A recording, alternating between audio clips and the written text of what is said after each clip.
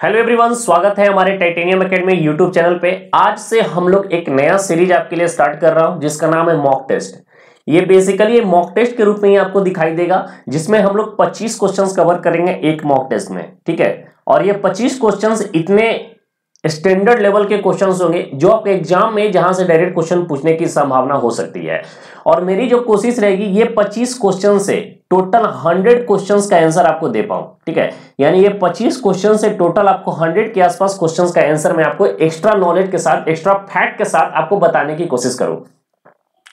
अब ये बेसिकली ये मॉक टेस्ट किन यूनिवर्सिटी एंट्रेंस एग्जामिनेशन के देखते हुए बनाया गया। अगर आप बीएचयू का पेपर दे रहे हो ड्यू का पेपर दे रहे हो महाराष्ट्र कॉमन एंट्रेंस टेस्ट दे रहे हो पंजाब यूनिवर्सिटी इलाहाबाद यूनिवर्सिटी या फिर सीईटी जो हो रहा है, जिस जिन यूनिवर्सिटी में है, इनका एग्ज़ाम अगर दे रहे हो तो इसी के बेसिस पर इस मॉक टेस्ट को तैयार किया गया है। और ये सारे मॉक टेस्ट बहुत ही इंपॉर्टेंट क्वेश्चन के साथ आपको देखने को मिलेंगे।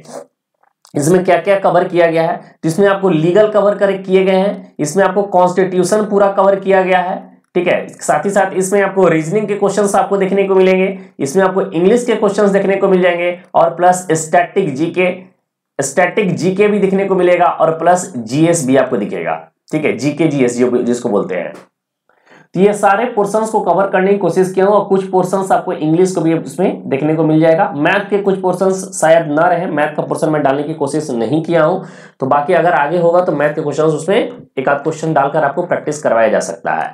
तो चलिए वीडियो को स्टार्ट करते हैं बिना किसी देरी के। और एक बार सभी लोग वीडियो में बने रहिए और आंसर देने की कोशिश कीजिएगा। सभी लोग एक बार वीडियो को शेयर कर दीजिए ताकि और भी लोग जुड़ सकें। और ये आपको एक बता दूँ कि एक वीक में मैं तीन से चार वीडियो देने की कोशिश करूँगा और ये नाइट दस बजे, रात के दस बजे इस वीडियो को आपको यहाँ पर देखने को मिलने वाला है। तो सभी लोग वीडियो में बने रहना। जब जब भी होगा तो आपको मॉर्निंग में ही नोटिफिकेशन दे दी जाएगी कि आज वीडियो जो है अपडेट होने वाला है तो आप उसको देख लेना। चलिए, आज का जो पहला क्वेश्चन है, पहला क्वेश्चन को समझिएगा। कॉन्स्टिट्यूशन का ये क्वेश्चन है one of the most important question है। Right to property was removed from the list of fundamental right by which amendment तो जैसा कि आपको पता होगा कि राइट टू प्रॉपर्टी को रिमूव किया गया है फंडामेंटल राइट से। तो बताइए किस अमेंडमेंट के थ्रू इसे रिमूव किया गया था? बताइए जल्दी से इसका आंसर बताइए इसका आंसर क्या होना चाहिए। तो इसका जो करेक्ट आंसर होगा, वो होगा option number A forty fourth amendment ठीक है, कब हुआ था? तो फोर्टी फोर्थ अमेंडमेंट हुआ था 1978 में। 1978 में फोर्थ अमेंडमेंट हुआ था। ठीक है अब इसके साथ ही फोर्टी फोर्थ अमेंडमेंट की जब नाम आई है तो हम लोग कुछ डिटेल्स में और देखेंगे। फोर्टी फोर्थ अमेंडमेंट से रिलेटेड और कुछ पॉइंट्स को देखेंगे कि फोर्टी फोर्थ अमेंडमेंट में हुआ क्या क्या था। एक तो आपको राइट टू प्रॉपर्टी जो था आर्टिकल थर्टी वन में था, ठीक है? राइट टू प्रॉपर्टी जो पहले था, वो आर्टिकल थर्टी वन में था, जिसको आप शिफ्ट करके शिफ्ट करके इसको थ्री हंड्रेड ए में बना दिया गया और ये लीगल राइट हो गया। ठीक है? ये क्या हो गया? लीगल राइट हो गया। तो राइट टू प्रॉपर्टी जो पहले फंडामेंटल राइट था, अब उसको फोर्टी फोर्थ अमेंडमेंट के बाद इसको लीगल राइट बना दिया गया है। इसके बाद कुछ आर्टिकल 352 में काफ़ी चेंजेस देखने को मिले हैं। किस आर्टिकल में? आर्टिकल तीन में काफ़ी चेंजेस देखने को मिले हैं। ठीक है? अब आर्टिकल तीन क्या है? तो जैसा कि आपको पता होगा कि तीन आर्टिकल होते हैं। इमरजेंसी से रिलेटेड। ठीक है? इमरजेंसी से रिलेटेड तीन आर्टिकल होते हैं। पहला होते हैं तीन दूसरा होता है तीन सौ छप्पन और तीसरा होता है तीन सौ साठ।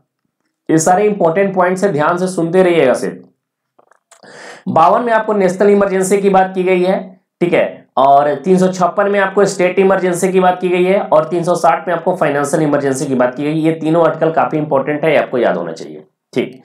तो आर्टिकल तीन सौ बावन में पहला जो चेंजेस आया था, वो क्या चेंजेस आया था?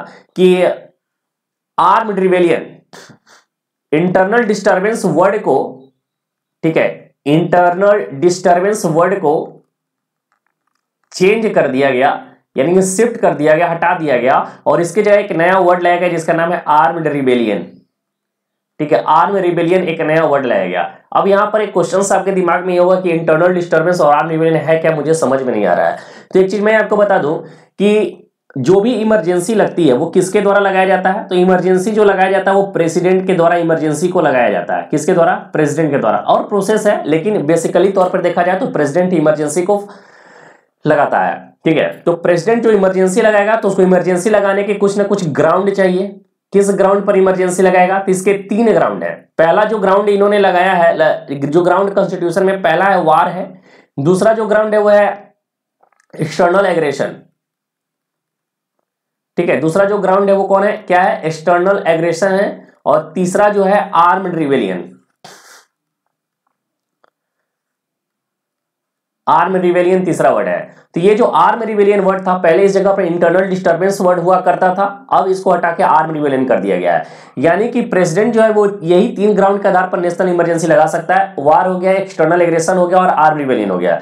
ठीक है, ये बहुत ही इंपॉर्टेंट पॉइंट है, इसको ध्यान से समझिएगा। इसके अलावा और कुछ चेंजेस हुए हैं। इसके अलावा और क्या चेंजेस हुए हैं?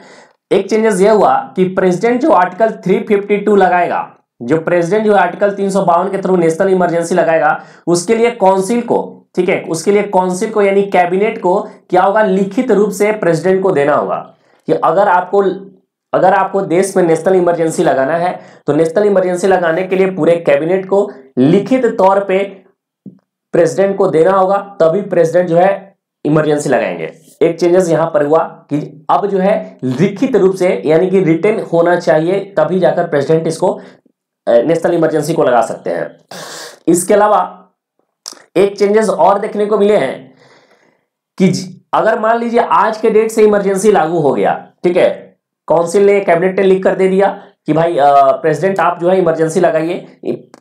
और प्रेसिडेंट ने क्या हुआ कि इमरजेंसी इंपोज कर दिया कि पूरे देश में आज से इमरजेंसी लागू हो गया है। लेकिन उसका भी एक रूल ये है कि इमरजेंसी लागू करने के एक महीने के अंदर, कितने अंदर गए? एक महीने के अंदर दोनों दोनों सदन से, यानी लोकसभा से और राज्यसभा से इसको पास करवाना होगा और भी स्पेशल मेजोरिटी से। ठीक है? स्पेशल मेजोरिटी से आपको इसे पास कराना होगा। ये काफ़ी इंपॉर्टेंट पॉइंट है, याद रखिएगा। लोकसभा और राज्यसभा दोनों सदनों से इसे स्पेशल मेजोरिटी से इसको पास करवाना होगा। लेकिन अगर बाई चांस लोकसभा या राज्यसभा किसी एक में से पास नहीं होता है या फिर दोनों में से पास नहीं होता है तो ये इमरजेंसी है जो स्वतः एक महीने बाद समाप्त हो जाएगा। ठीक है, एक महीने बाद ये इमरजेंसी स्वतः समाप्त हो जाएगा। ठीक, अब यहाँ पर एक क्वेश्चन और यहाँ पर एक चेंजेस देखने को मिला है। कि मान लीजिए एक बार जब इमरजेंसी लग गया तो इमरजेंसी, मान लीजिए इमरजेंसी लगा, लोकसभा में भी पास हो गया, राज्यसभा में पास हो गया तो एक बार इमरजेंसी लगाने के बाद वो छह महीने तक वो इमरजेंसी अप्लीकेबल होगा। और छह महीने बाद फिर से यही प्रोसीजर अपनाना होगा, लोकसभा से पास कराइए, राज्यसभा से पास कराइए, वो भी स्पेशल मेजोरिटी से इसे पास होना चाहिए। बहुत ध्यान से आर्टिकल देखो यहाँ से पूरे आर्टिकल तीन सौ बावन को समझा दूँगा, बहुत टफेस्ट आर्टिकल में से इसे माना जाता है और बिल्कुल डिटेल में समझाने की कोशिश कर रहा हूँ। तो यहाँ पर पता चल गया कि एक बार एक बार आपको इमरजेंसी लगा लगा दिए तो आपको छह मंथ तक रहेगा। छह मंथ बाद फिर उसे दोनों सदनों से स्पेशल मेजोरिटी से उसे पास करवाना होगा। अब इसकी, अब लगाने वाली सिस्टम तो समझ में आ गया। इसको इंड कैसे किया जाए? इसको रिवोकेट कैसे किया जाए? रिवोकेट का क्या है? तो रिवोकेट यह सकता है कि प्रेसिडेंट जब चाहे उसे हटा सकता है।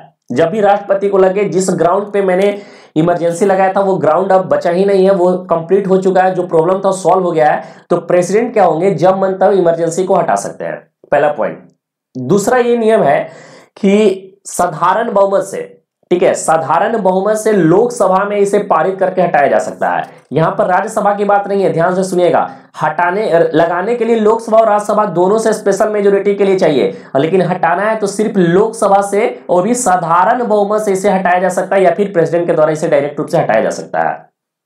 ठीक है, अब यहाँ पर दो तीन पॉइंट और याद रखना कि अभी तक इंडिया में तीन बार नेशनल इमरजेंसी लगा है। पहला लगा था 1962 में, ठीक है, ये सारे पॉइंट जो मैं बोल रहा हूँ उसको लिखते चले जाओ। अगर नहीं पता है तो लिखते चले जाओ अपने नोट्स के रूप में। दूसरा लगा था 1971 में और तीसरा जो लगा था 1975 में जो इंदिरा गांधी के द्वारा लगाया गया था। ठीक?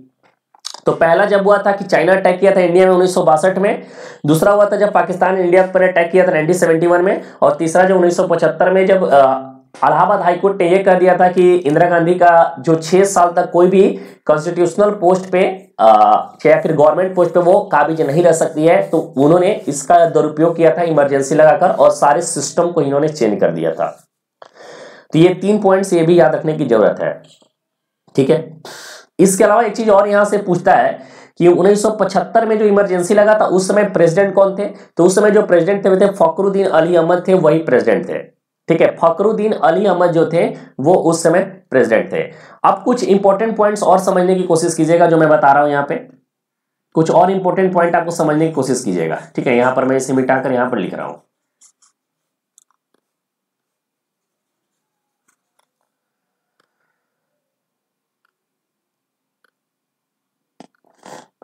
देखो, अब यहाँ पर दो आर्टिकल याद रखना आर्टिकल तीन और तीन सौ उनसठ। आर्टिकल तीन और तीन में क्या दिया गया है कि फंडामेंटल राइट जो होगा, इमरजेंसी के समय सस्पेंड रहेगा आर्टिकल 19 ठीक है, इस छोड़िए आर्टिकल जो 19 होंगे, आर्टिकल 19 जो होगा, वो फंड 19 जो होगा, वो इमरजेंसी के समय सस्पेंड हो जाएगा। ये आर्टिकल तीन में लिखा हुआ है।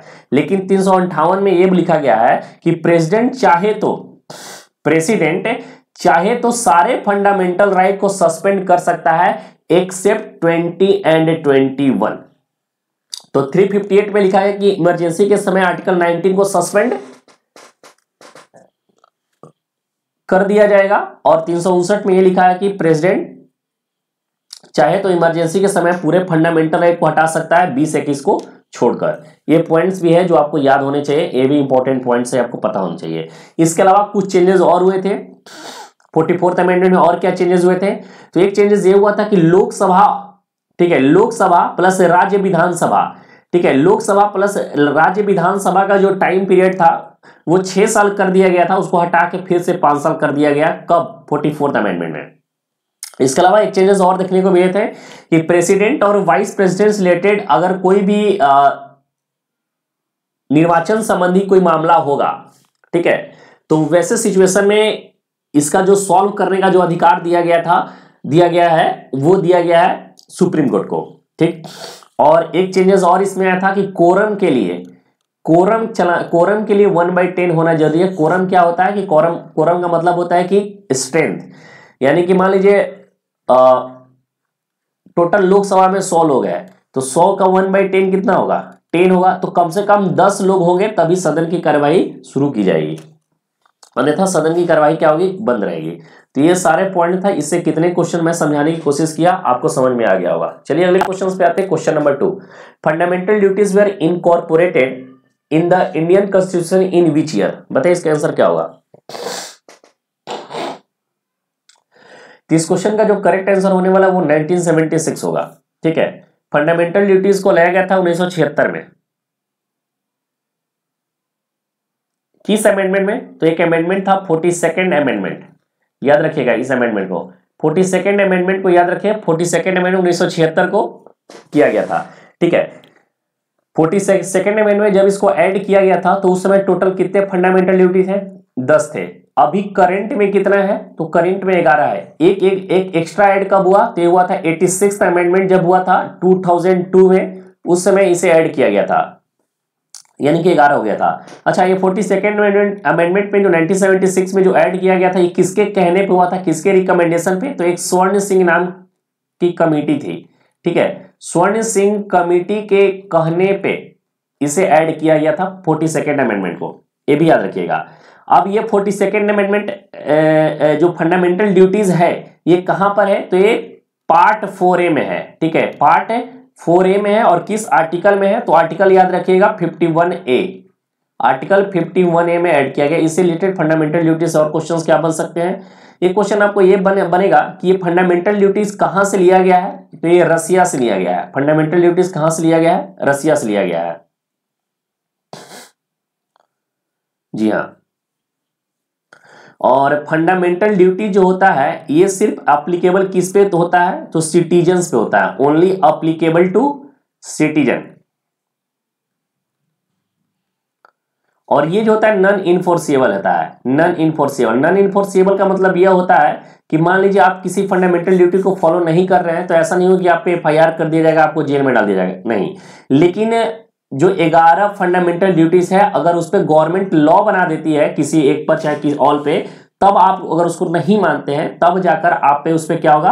आप पे मुकदमा चल सकता है। अच्छा एट्टी सिक्स अमेंडमेंट में क्वेश्चन ये भी पूछा है कि जो एक ऐड किया गया था, वो क्या किया गया किया गया था? जिसमें ये ऐड किया गया था duty of all parents and guardian to provide education his children between six to fourteen years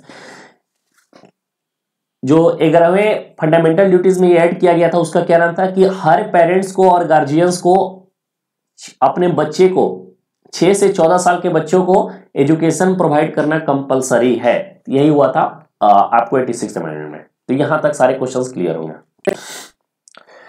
चलिए, एक ये नंबर है, इस नंबर को नोट डाउन कर लीजिएगा। इससे एक नंबर पे व्हाट्सएप ग्रुप बना हुआ है एलएलबी एंट्रेंस एग्जामिनेशन के लिए। अगर आप ज्वाइन होना चाहते हो तो इस नंबर पे आपको मैसेज करना है, आपका क्या नाम है आप किस यूनिवर्सिटी को टारगेट किए हो और आपको इस ग्रुप में ऐड होना है, वहाँ पर लिख देना है। तो आपको एक लिंक प्रोवाइड कर दिया जाएगा, जिसमें ग्रुप में ऐड कर दिया जाता है, जिसका पीडीएफ इसका पीडीएफ भी आपको वहीं पर मिलेगा।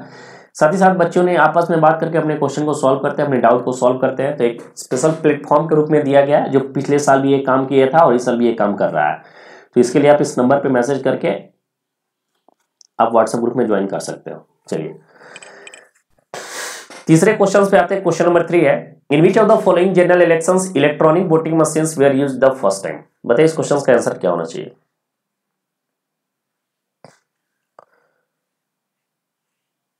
तो इस क्वेश्चन का जो आंसर होने वाला है वो 9082 होगा। ठीक है, यहाँ पर थोड़ा सा कंफ्यूजिंग क्वेश्चन से आपको देखने को मिलेगा। यहाँ पर जनरल इलेक्शंस की बात की गई है। जब भी जनरल इलेक्शंस आपको वर्ड यूज़ होगा तो आपको 9082 ही करके आना है। ठीक है? अगर जनरल इलेक्शन वर्ड नहीं होगा तो फिर कोई और होगा, लेकिन जब भी जनरल इलेक्शन आपको वर्ड यहाँ पर यूज़ हो रहा है तो नाइनटी ही यूज़ करके आना है। चलिए अगले क्वेश्चन पे आते हैं। क्वेश्चन नंबर फोर है the president of India can nominate to the Rajya Sabha कितने मेंबर्स को नॉमिनेट करता है प्रेसिडेंट राज्यसभा में? बताइए। आपके एग्ज़ाम के यही स्टैंडर्ड है, यही स्टैंडर्ड के क्वेश्चंस आपको एग्ज़ाम में पूछा जाएगा। ये सारे क्वेश्चंस इजी नहीं है। आपने ज़रूर एक दो बार पढ़ लिया तो आपको इजी लग रहे होंगे, या फिर पहले एक बार प्रिपरेशन आपने किया हुआ, ये सब क्वेश्चंस उन बच्चों के लिए जो अभी अभी प्रिपरेशन स्टार्ट किया, बिल्कुल उनके लिए ईजी नहीं होगा। इसका आंसर होगा बारह मेंबर्स को इन्होंने नॉमिनेट किया है। अच्छा ये बताइए कि ये जो बारह मेंबर्स को नॉमिनेट करने वाला जो सिस्टम है, वो किस किस कंट्री से इसे बोरो किया गया है? बताइए इसका आंसर क्या होगा? किस कंट्री से इसे बोरो किया गया है? तो ये बोरो किया गया आपको आयरिस कॉन्स्टिट्यूशन से। ठीक है आयरिस कॉन्स्टिट्यूशन से इसको बोरो किया गया है। तो ये सारे पॉइंट्स जो है आपको पता होने चाहिए। ठीक है आर्टिकल 79 में क्या है? तो आर्टिकल 79 में आपको पार्लियामेंट की बात की गई है। किसकी बात की गई है? तो पार्लियामेंट की बात की गई है। पार्लियामेंट में दो सदन होते हैं, एक होता है लोकसभा होता है, एक होता है राज्यसभा होता है। ठीक है, चलिए। क्वेश्चन नंबर फाइव की बात करेंगे। The constitution names our country as Bharat Aryavrat Hindustan India that is Bharat बताइए इसका आंसर क्या होगा? बच्चे कुछ कंफ्यूज हो गए होंगे इसमें। कुछ तो कंफर्म है कि कंफ्यूज हो जाएँगे। इस क्वेश्चन का जो आंसर होगा ऑप्शन नंबर डी होगा इंडिया डेट इज़ भारत कुछ लोग तो ए ऑप्शन नंबर चूज़ कर रहे होंगे। ठीक है, कोई दिक्कत नहीं है। चलिए नेक्स्ट क्वेश्चन है। The bill of right and judicial review are features are borrowed from which of the following country? Which of the following country constitution ठीक है, यहाँ पर दिख नहीं रहा है। अब इसको मैं हटा तो नहीं सकता हूँ फ़िलहाल पे। तो मैनेज करना है आपको। इसका जो आंसर होगा यूएसए होगा। ठीक है, अब यहाँ पर यूएसए से और क्या क्या लिया गया? है तो एक तो आपको फंडामेंटल राइट यूएसए से लिया गया। है दूसरा आपको लिया गया है independence of judiciary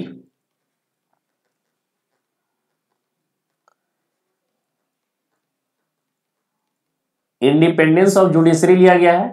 तीसरा जो लिया गया है removal of supreme court and high court जजेस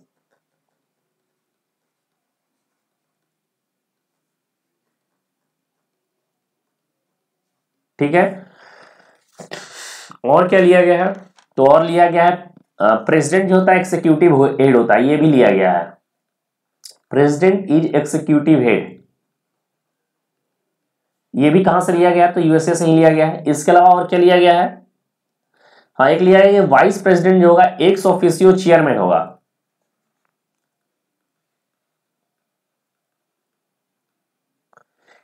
एक ऑफिसियो चेयरमैन ऑफ़ राज्यसभा ठीक है? तो ये चार पाँच चीज़ लिए गए हैं, ये जो इंपॉर्टेंट है, आपको याद होने चाहिए। एक तो fundamental right independence of judiciary removal of supreme court and high court जजेज president is executive head और वाइस प्रेसिडेंट जो होता है, एक ऑफिसियो चेयरमैन होता है, राज्यसभा का साथ ही साथ बिल ऑफ़ राइट और जुडिशियल रिव्यू ये भी यूएसए से ही लिया गया है। चलिए अगले क्वेश्चन पे आते हैं question number seven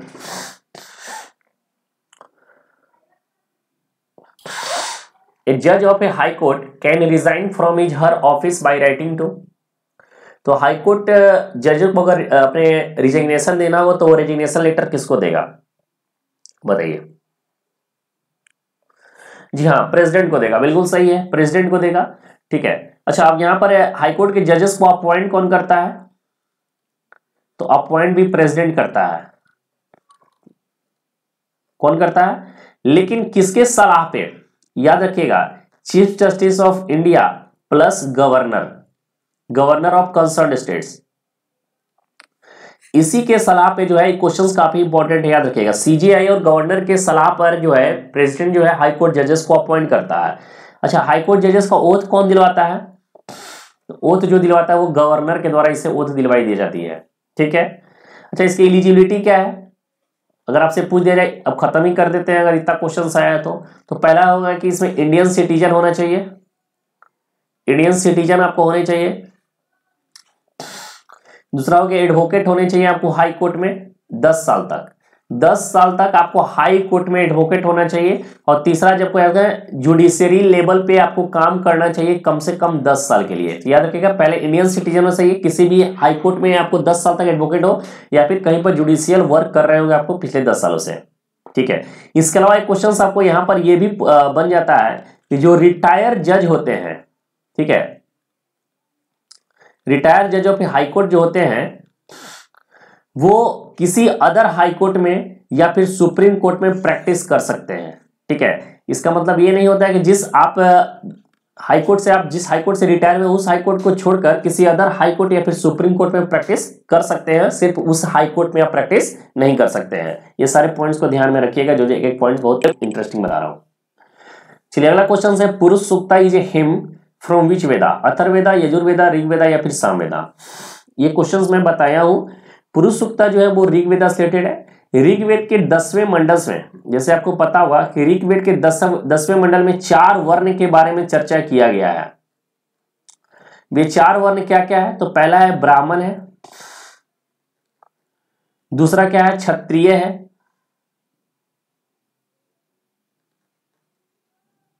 पहला है दूसरा क्षत्रिय है। तीसरा क्या है? तीसरा है आपका वैश्य है।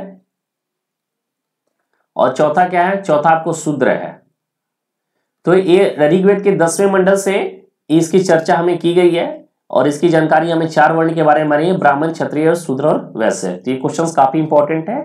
स्टैटिक जीके का क्वेश्चन है वेरी वेरी इंपॉर्टेंट क्वेश्चन में से एक है।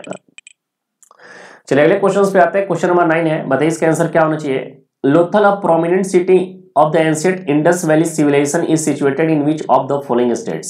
लोथल जो है इंडस वैली सिविलेशन का एक प्रोमिनेंट सिटी के नाम से जाना गया था। बताइए लोथल फ़िलहाल किस राज्य में अभी है? तो लोथल जो है गुजरात में ऑप्शन नंबर ए होगा। लोथल जो है गुजरात में है। अब यहाँ से आपको स्टेट से क्या क्या क्वेश्चन पूछेगा? पहला आपसे पूछेगा हड़प्पा। हड़प्पा कहाँ पर है? तो ये पर है पाकिस्तान में है। ठीक है? इसके अलावा आपसे पूछेगा मोहनजो दारो। ठीक है मोहनजो दारो। मोहनजो दारो कहाँ है? ये भी पाकिस्तान में है। इसके बाद आपसे पूछेगा चन्हू दरो। ये सारे पॉइंट जो है बहुत इंपॉर्टेंट है, बहुत डिटेल से बता रहा हूँ। चन्हू दरो भी पाकिस्तान में है। धौलावीरा आपसे पूछेगा। धौलावीरा, जहाँ पर स्ट्रीमलाइन ड्रेनेज सिस्टम था। ये कहाँ पर है? ये भी गुजरात में है। ठीक है, इसके अलावा रंगपुर। रंगपुर भी आपको कहाँ पर है? गुजरात में है। ठीक है? इसके अलावा आपसे पूछेगा कालीबंगन। कालीबंगन आपसे पूछा जा सकता है। कालीबंगन कहाँ पर है? तो कालीबंगन जो है राजस्थान में है। कहाँ पर है? राजस्थान में ये सारे पॉइंट्स को नोट डाउन करके याद कर लेना। उसके बाद आपसे पूछेगा आलमगीरपुर। ये सब पूछते हैं, पूछे गए हैं। प्रीवियस ईयर पेपर अगर देखिएगा तो पूछे गए हैं। आलमगीरपुर कहाँ पर है? यूपी के मेरठ में है। ठीक है? यूपी के मेरठ में है। इसके अलावा आपसे एक लास्ट आपसे पूछेगा बनावली। बनावली कहाँ पर है? तो हरियाणा के हरियाणा में है। ठीक है? और एक आपसे पूछेगा, आपसे लास्ट जो पूछ सकता है वो है रोपड़। रोपड़ कहाँ पर है? तो ये है पंजाब में। तो ये कुछ इंपॉर्टेंट साइट्स है जो इंडस वैली सिविलेशन का जो इंपॉर्टेंट है और किस राज्य में ये लोग किस राज्य में ये सारे हैं या फिर किस कंट्री में है? तो ये सब पूछा जा सकता है। हड़प्पा, मोहनजोदड़ो और चनुदड़ो ये पाकिस्तान में है और ये सारी कुछ गुजरात में, कुछ राजस्थान में है, कुछ यूपी, कुछ हरियाणा, कुछ पंजाब। ठीक है? चलिए। अगले क्वेश्चन पे आते हैं। क्वेश्चन नंबर टेन है। Who among the following was the first scholar to decipher the Ashoka edicts Ashoka edicts बताइए इसका आंसर क्या होगा? तो इस क्वेश्चन का जो करेक्ट आंसर होने वाला है, वो है जेम्स प्रिंसेप ठीक है? तो जेम्स प्रिंसेप ने पहला बार अशोका के एडिक्ट्स को पढ़ने की पढ़ पाया था, ठीक है? कब पढ़ा था? तो अठारह में। लेकिन यहाँ पर एक क्वेश्चन आपसे यह पूछेगा कि अशोका एडिट की फाउंडर कौन है? इसकी खोज किसने किया था? तो इसको किया था, इसका नाम था फैंथलेयर ठीक है? स्पेलिंग मुझे भी नहीं पता है मैं लिख दे रहा हूँ फैंथलेयर ठीक है? पोट्री फैंथलेयर करके कुछ नाम था, जो 1750 में इसकी खोज किया था। ठीक है? अशोका एडिट्स को पढ़ा था सबसे पहले जेम्स प्रिंसेप ने अठारह में, लेकिन खोजा कौन था? पोट्री फैंथलेयर ने। अब अशोक से रिलेटेड कुछ पॉइंट्स आपको बता देता हूँ जो आपके एग्ज़ाम में जहाँ से पूछते हैं। अशोक के फादर का नाम क्या था? तो अशोक के फादर के नाम था बिंदुसार था। क्या था? बिंदुसार अशोक के फादर के नाम था। अशोक की मदर्स का जो नाम था वो था सुभद्रांगी। सुभद्रांगी। अशोक के कुछ एक सन था, उसका नाम महेंद्र था। महेंद्र।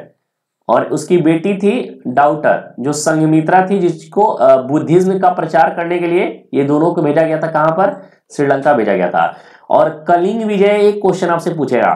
कलिंग जो, कलिंगा पर जिन्होंने विजय पाया था, ये थर्टीन शिलालेख में इसकी चर्चा की गई है।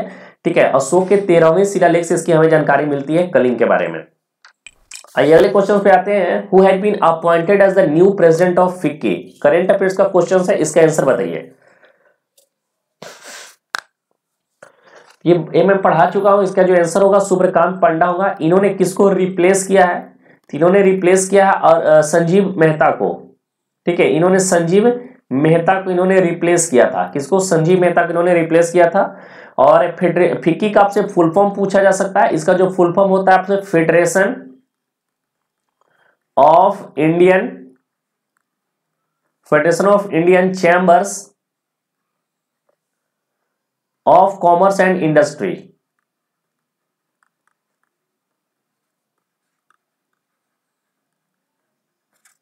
ठीक है, इसका फुल फॉर्म आपसे पूछा जा सकता है। चलिए अगले क्वेश्चन पे आते हैं। Question number twelve recently Benjamin Netanyahu had been reappointed as the prime minister of Israel he belongs to which party बताइए इसका आंसर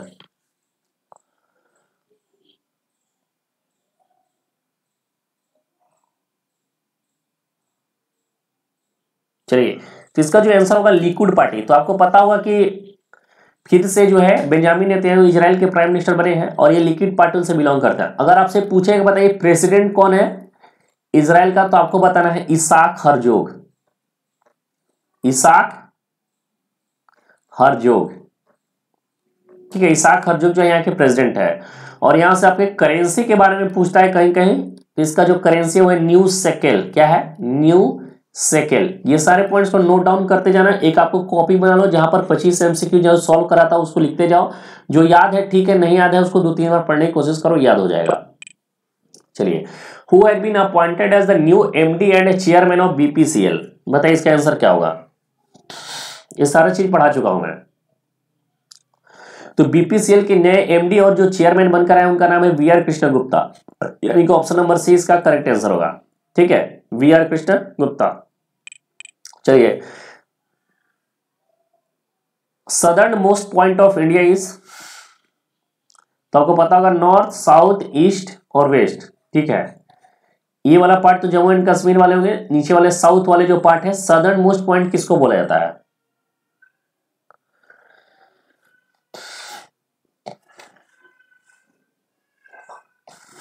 जो लोग कन्याकुमारी सोच रहे हैं, वो बिल्कुल गलत है।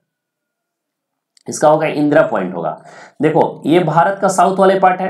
ये वाला पार्ट तो कन्याकुमारी है, ठीक है? ये जो पार्ट है, ये तो कन्याकुमारी है, लेकिन यहाँ पर आपको अंडमान भी दिखेगा और अंडमान भी आपको सदर्न मोस्ट पॉइंट पे अंडमान को माना जाता है। यहीं पर आपको इंदिरा पॉइंट देखने को मिलेगा और इधर क्या है? लक्षद्वीप है, ठीक है?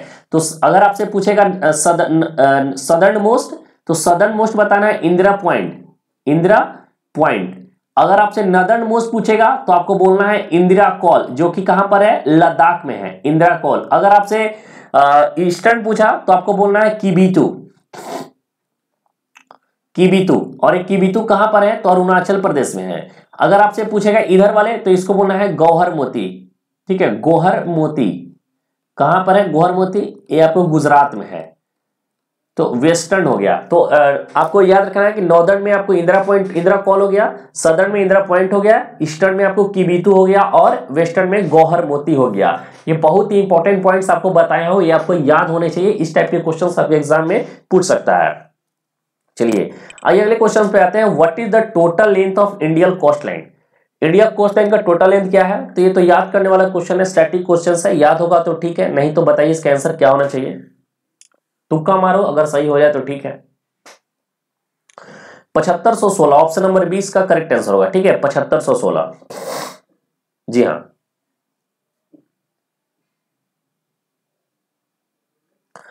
इसमें भी कोस्टल लाइन सिर्फ़ ये वाला पोर्शन मेनलैंड को जोड़कर प्लस इधर वाले जो पोर्शन आपको हो गए, अंडमान वाले उधर हो गए, लक्षद्वीप वाले, ये सारे ऐड करके निकाला गया है। जी हाँ पचहत्तर सौ सोलह तब जाकर होगा। अब बताइए इंटरनेशनल मिलिट्री ट्रिब्यूनल का हेडक्वार्टर कहाँ पर है? बताइए। Headquarter of international military tribunal is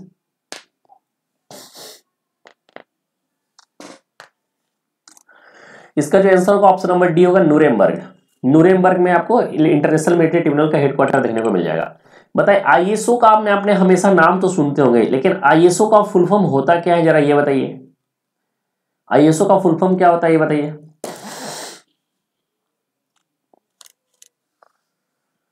कुछ कंप्यूटर के क्वेश्चंस भी डालूँगा, ठीक है? नेक्स्ट टॉपिक से नेक्स्ट मॉक टेस्ट में कुछ कंप्यूटर क्वेश्चंस भी डाल दूँगा। धीरे धीरे करके आपको करीबन करीबन पाँच चार हज़ार से पाँच हज़ार क्वेश्चन एमसीक्यू करा दूँगा और सारे स्टैंडर्ड लेवल क्वेश्चन होंगे और उससे क्या होगा?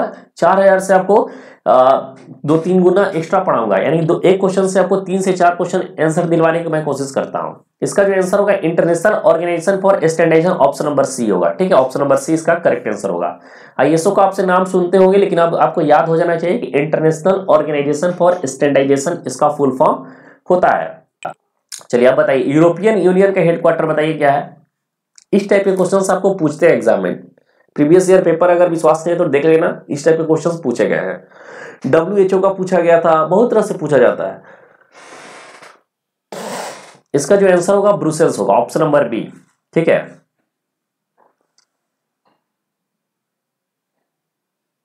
ब्रुसेल्स बिल्कुल सही। चलिए आइए अगले क्वेश्चन पे आते हैं। The chairman other members of the copyright board shall hold the office for a period of बताइए। चेयरमैन और या फिर अदर मेंबर जो होते हैं कॉपीराइट बोर्ड के, वो कितने दिनों तक ऑफ़िस को अटेंड करके रखते हैं? जी हाँ पाँच साल के लिए। बिल्कुल सही ऑप्शन नंबर है, इसका करेक्ट आंसर होगा। आइए अगले क्वेश्चन पे आते हैं। Which of the following is a not an intellectual property law तो ट्रेडमार्क होगा पेटेंट होगा डिज़ाइन होगा, ये नहीं होगा तो इसका जो आंसर होगा ऑप्शन नंबर ए होगा, ठीक है? कस्टम एक्ट 1962 और ये डेट याद रखना, ठीक है? ये जो ईयर दिया हुआ है कि ट्रेडमार्क एक्ट कब आया? 1999 में आया था पेटेंट एक्ट 1970 में आया था डिज़ाइन एक्ट कब आया था? तो 2000 में आया था तो इसका जो आंसर होगा ए हो जाएगा, ठीक है? चलिए, आइए इंटेलेक्चुअल प्रॉपर्टी डे कब मनाते हैं, बताइए। Intellectual property day is celebrated on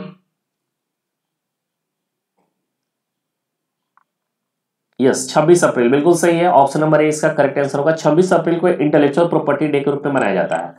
आइए अगले क्वेश्चन पे आते हैं। Doctrine of transferred malice is content in which section of IPC transferred malice क्या होता है कि मान लीजिए आप किसी का मर्डर करने जा रहे हैं और गलती से आपने उसको समझकर किसी और को मर्डर कर दिया तो ऐसा नहीं है कि आपने उसका मर्डर कर दिया तो आप पे चार्जेस नहीं होंगे। जो चार्जेस आप किसी एक को मर्डर्स करने जा रहे थे, वही चार्जेस सेम आप पर लगेंगे ट्रांसफ़र कर दिए जाएँगे, उसके वाले चार्जेस आप पे लग जाएँगे।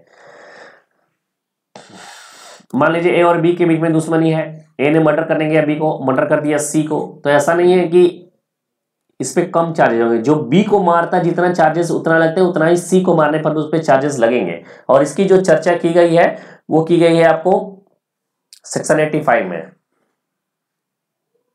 ठीक है, सेक्शन 85 में।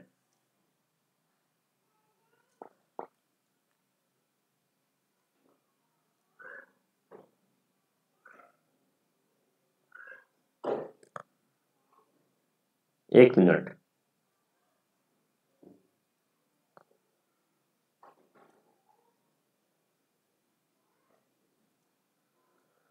सेक्शन 85 में है। सेक्शन 85 है या फिर 301 होगा। यस 301 होगा। बिल्कुल बिल्कुल, मैं खुद कंफ्यूज था। माफ़ कीजिएगा, इसका जो आंसर होगा, क्या होगा? 301 होगा ऑप्शन नंबर सी ठीक है ऑप्शन नंबर सी होगा। बाईस नंबर। जी हाँ ऑप्शन नंबर सी होगा, ठीक है? तो डॉक्ट्राइन ऑफ़ ट्रांसपोर्ट में जो है वो वर्किंग एटी फाइव सेक्शन नहीं होगा थ्री हंड्रेड वन होगा, बिल्कुल सही है। चलिए, अगले क्वेश्चन पे आते हैं question number twenty three sexual intercourse with a girl under dash is rape even if she had given her consent तो सेक्सुअल इंटरकोर्स किसी गर्ल के साथ, जो 18 साल की कम उम्र की अगर कोई लड़की है, उसके साथ सेक्सुअल ऑफेंस किया जाता है, अगर वो सेक्स अगर वो कंसेंट दे भी दी जाती है तो उसको एज अ रेप की तरह रखा जाएगा। ठीक है? ऐसा माना जाता है कि उसके जो समझने के लिए वो उतनी लायबल नहीं थी, जिस कारण से आपने उसके साथ ज़बरदस्ती किया है और इस कारण से इसे रेप के अंतर्गत रखा गया है। अट्ठारह साल इसका आंसर होगा एटीन ईयर्स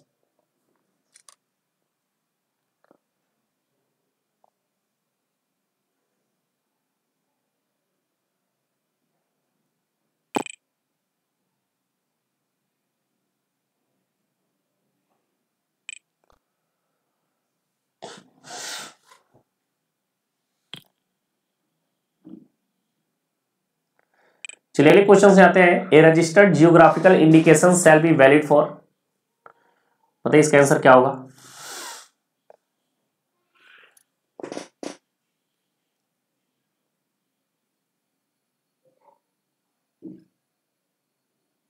इसका जो आंसर होगा दस साल।